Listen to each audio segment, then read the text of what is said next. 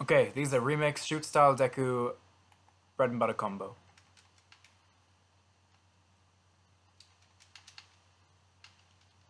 To this. Oh no.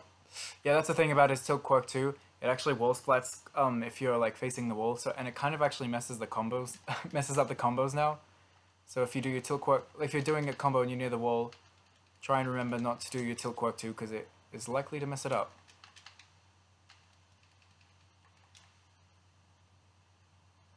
Damn, 11,000 damage, zero dash cancels, and it's completely free. And if you were wondering how I comboed off of the um, both the tilt quirk two and the quirk one in the air, if you just jump after they hit, you can um, you cancel the last part of the hit and you can get a combo. Yeah, you can get hits afterwards. So like here, I just jump and I'm in the air.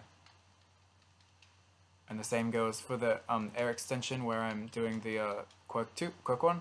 I just jump and then I'm in the air and attacking them. So yeah, that's how you do his bread and butter combo.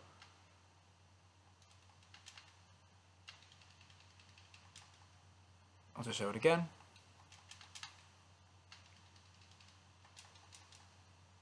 Boop, boop. Yeah, that was leaving slightly more damage that time. I think it's probably just because a few more hits of the um, slide hit.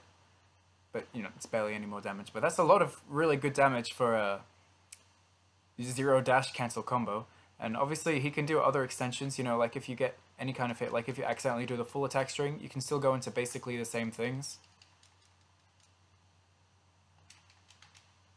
It'll just be a little bit less damage.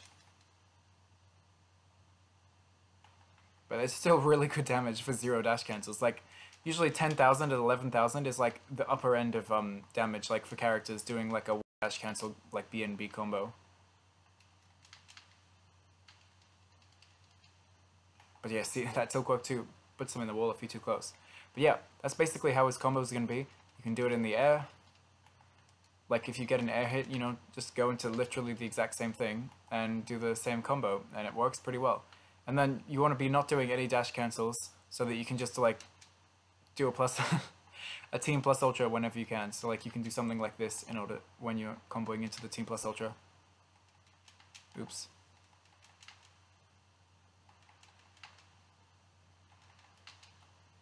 Oh, I'm my bad.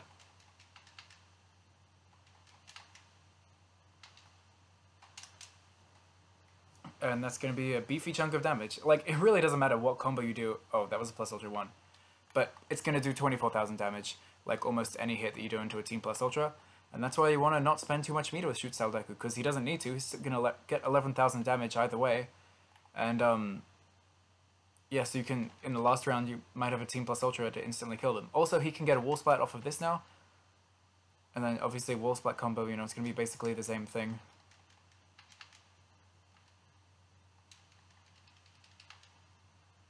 Whoops, messed that up.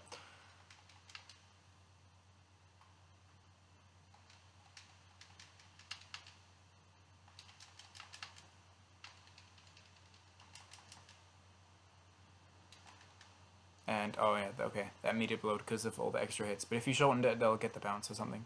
Here, let me see what I can do.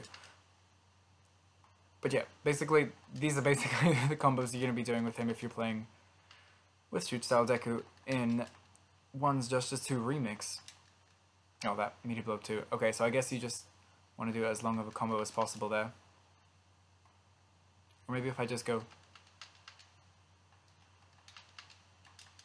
Whoa.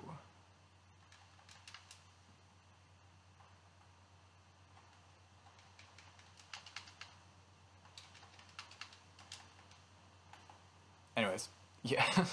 Come on, I want to do this. Damn it.